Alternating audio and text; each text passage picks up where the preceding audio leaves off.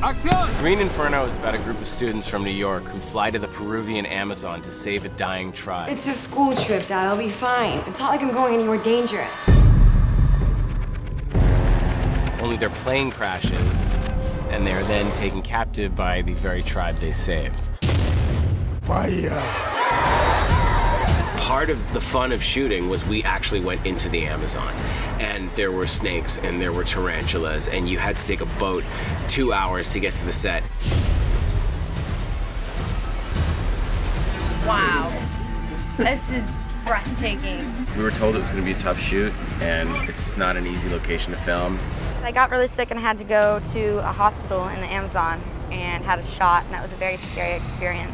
The best word I could describe for this whole experience was risky. I wanted to make a movie that was more like an adventure film, that was much bigger in scope, bigger in scale. I'm really proud of what we accomplished.